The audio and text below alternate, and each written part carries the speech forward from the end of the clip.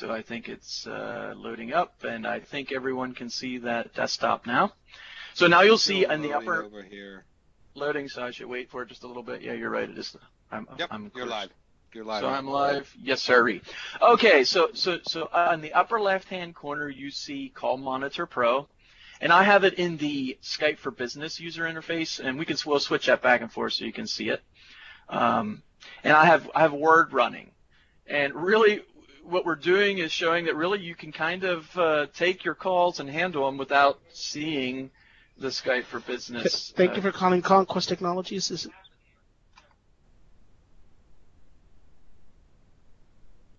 And uh, that was not part of the presentation, but that's what it sounds like when you answer. All right. So what I'm going to do is make a call in. And the the way that you answer a call is just like Lync currently. We're not doing anything with the call toast. Um, so what I'm doing is I'm just clicking on the standard call toast. This remember this is an end user, and uh, now I've answered the call, and you see the active call is always on top. So if I'm here you know, typing in Word, uh, the the call monitor is is always on top. And why don't I mute that and lay it to the side? And you can see that we have our current call. It shows who's calling, shows the timer. I can place the call on hold with one click of my mouse, or if I wanted to, I could use a the um, the shortcut key that that I decide what it is. I can pick that call back up again. And you'll notice it went slightly dim just to show you that it is on hold, kind of a visual. Um, I can mute the call with a click and um, I can hang up or I can enterprise version feature. I can click on the transfer and get a one click transfer where it shows the, the, um, the, uh, call transfer. I can place it on Park. So let me just uh, click Park. And you'll notice now the call's on Park. It, it doesn't disappear from your window because this is a call that you know is of interest to you. It shows you the uh, call Park number so you can announce that to someone else. Or if no one else picks it up and you want to retrieve it again, you can use the retrieve button, F8 and of course you see the Lync window um, moving around in the background there. And now we have picked that call back up again. And of course we can hang up the call.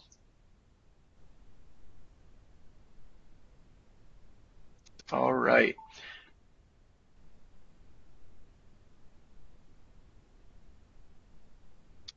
And All right. So, and configuration. So that's a real basic. Uh, what I was going to do, yes, let's before we go into configuration, I was going to do two calls. So I'm going to make a call, an incoming call. So I'm going to answer that call, and now I have have a single call in here, and now I'm going to make another another call. And maybe I'll make an outgoing call on this one. So you can see the multi-call handling. Okay, so now, so now we have two calls going. And I can place one on hold. and pick the other one up. And if you put the one that's, if you pick up the one that's currently on hold, it automatically switches them around. And you're, you're on hold there. Um, and that's, I'm not sure if I'm going to be able to transfer on that one. And if you do not have the Enterprise Edition, you will get a notice that you need that, which in this case I don't. But if you had the full version and you clicked on this, you would just get the search screen for um, for transferring. So once again, I can hang up. And our thought was for end users, really, they need to handle two calls. Um, more than that, you will get a scroll bar, which means it's not going to be real efficient. if you're handling more than two calls, our thought is you you might be an attendant. You should move that direction. So not trying to fill an attendant console scenario. Hey, Matt. Yes. I don't know if you showed the double click on the I call did not. feature. Thank you. Keep, prompt me because I got out of order here, so I don't have my note, my Yeah, no presentation notes. So yeah, do that. So um, so I I'm just going to do another incoming call.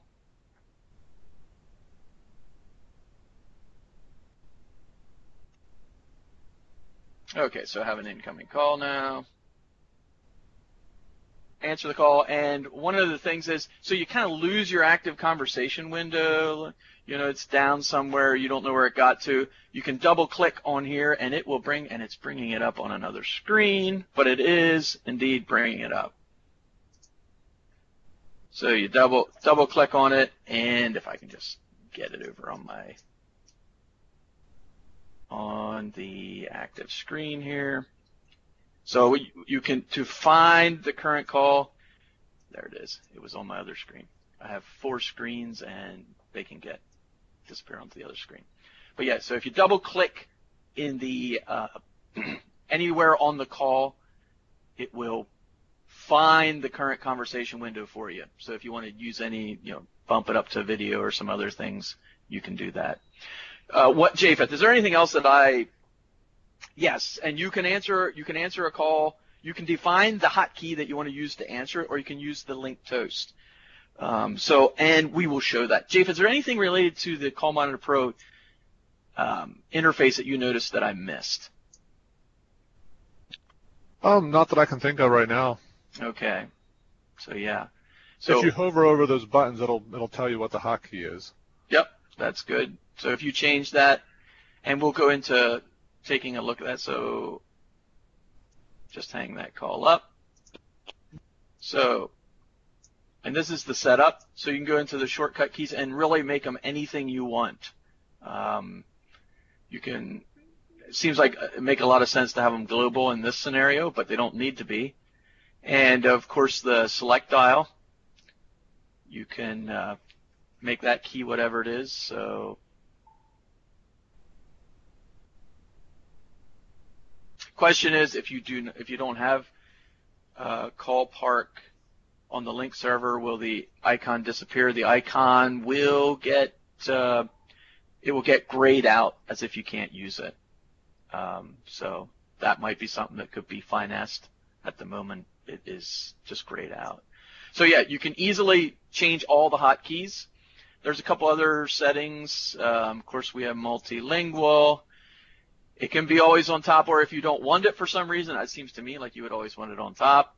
Uh, you can focus on incoming call. If you want to make it so that it, the buttons click when you click them, you can do that.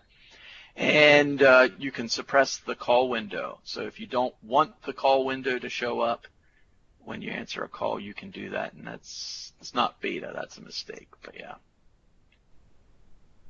So. All right. Any other Q&A or ideas? I mean, I think that's all that I had for the demo. And uh, we're 11:39. It's okay if we end, end uh, if we end before we need to.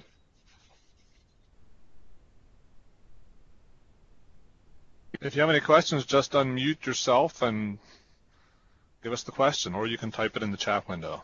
Yeah, type it in, or um, yeah, Mark, we'll talk to you about that enterprise uh, consultative transfer. Um, we can talk about that if you want to. You can always talk to uh, Wendell, and that he contact him sales at landiscomputer.com related to that. Um, any questions? Anything that we weren't clear on? Once again, this uh, Call Monitor Pro, the things that were listed on the Call Monitor Pro, that is, you know, free, entirely free. So Call Monitor Pro, it's free. Um, if you're interested in the Enterprise Edition, uh, the way we're doing it is we're uh, we're licensing that by organization. So talk to Wendell; he'll give you one simple figure, and then you know what the cost is. Um, but we welcome input. Um, this is a this is a community product. It's the result of a lot of community input. Um, and it's going to be on TechNet Gallery, so you can just go out there, download it. Um, we're building on some previous applications. Hey, Matt, just something else you might want to plug in. You had talked about the two different look and feels, and I don't think you showed that live. I know you had some. Ah, some thank you. Yeah, just plug. Just, just yeah. Nice to have record conversation. Yes, that would be very, very, very incredible feature, and I would be glad if the Lync SDK would give us that access to that. Um, and if it would, in a moment, we would actually bring that functionality. I'd love to do that. So, moving over to. Uh, so how does licensing model if you get so if you're in the free the licensing model is entirely free. Um, if you go to the enterprise edition, what we are doing is based on the number of users in the organization, we give you one lump sum, and that's the cost. So basically, it's based on the number of users, and uh, we have a, a magic formula. Yes, there will be support. Um, and I would say if you're familiar with the percent, you know, like the common support costs, no cost on, once again, Call Monitor Pro, that's available in TechNet Gallery, zero, zero. That's community supported. There's, you can ask questions on TechNet Gallery. Um, so no, no, you know, that's community supported, no cost. But uh, yearly cost. Wendell, do you have percent? Um, Yeah, why, and why don't, why don't I not stumble into that? I'll just give the typical what often percentages are. yeah, uh, typical percent of the once once we know your your number of users in your Lync environment, uh, then we'll give you a total price for licensing, and yearly cost is 20% of that. That's that's typical. That's industry. Um, if someone didn't want support after the first year, they could probably get out of that. All right. Yes. So good point. You didn't. I, I was showing One- the Skype. One more thing I want to add there before we leave the support. Support in our case always includes some support instances if you need uh, technical support. It also includes uh, updates to the latest version as we improve it. Go ahead. All right. Hey, J- uh, Japheth. Yeah, right click on the settings button. Thank you. We didn't talk about this beforehand, huh? totally fine. Okay. All right. So now we have the. so call Monitor Pro, and we'll we'll show you the Lync 2013 user interface. Yes, very. Um, whoever reminded me of that, thank you very much. So, so we have user interface to match Lync 2013 and attend or Lync Skype for Business. And we think we're doing a very good job of making it so the user doesn't have to think about uh, there's anything out of joint. So here you go. Now you're seeing the uh, the uh, Call Monitor Pro in a Lync 2013 user interface, and uh, the user interface should be just pretty much identical to Skype. I mean, there you can see the you know the avatar, um, and so you know the mute button, the uh, hang up button really you know looks. If you hold this, they should look basically identical a user that is used to using Lync 2013 or Skype for Business, uh, our intention is to make it so that when they look at this, they say, "Wow! I mean, that I just know exactly what to do." Put a call on hold. It it, dims it so you know for sure that call's on hold. If you uh, call another user, let's just call her, for example, using the Lync user interface. And uh, Please leave a message for you can see the two calls there. after the tone. Please record your message. When you finish recording, hang up or press the pound key for And if you double click on it, you see the uh, user or this, the, the conversation window shows. When you're on a call and another call comes, and when you put that call, will the user hear a message, recorded message when you're on a call and another call comes in? So basically, um, that's like a music on hold question. So whatever Lync, whatever, whatever setup in your Lync environment for music on hold is what will be played to the user when the user is on hold. Yep. Same, same as Lync. Yeah, sorry. I, the guy that the question gets aimed at sometimes can't think as fast as get. So maybe it would be interesting to show some, you know, once again, not intended to be uh, an attendant console, so you know it's really geared to handling one or two calls at the at the most. And if there's more than two, you you can it'll still answer, but you'll get a scroll bar which makes it pretty inefficient to handle it. So really designed around the the user using two calls. I don't know who reminded me of the Lync 2013 user interface, but yeah. All right. Any other any other questions? I see a bunch of questions uh, being answered on the IM. Is there any I should call out and verbally talk about? Uh, those of you who are answering those on the IM.